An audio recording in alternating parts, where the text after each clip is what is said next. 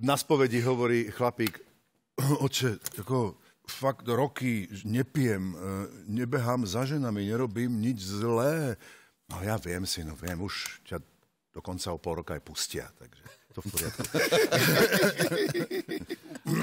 A ten homosexuál, jak ide farár s tou kaditeľnicou, pupuš, horí ti kabelka.